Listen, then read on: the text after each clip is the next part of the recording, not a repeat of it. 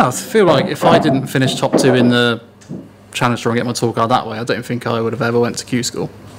I don't don't know why that is. I maybe didn't believe in myself enough. So finishing top two in the Challenge Tour was probably a good thing really for my career in the end.